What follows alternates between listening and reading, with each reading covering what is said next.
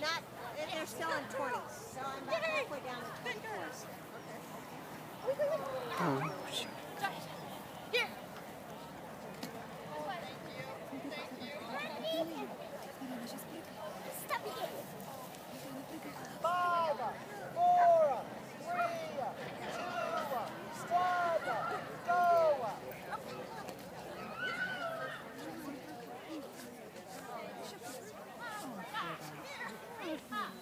Dom.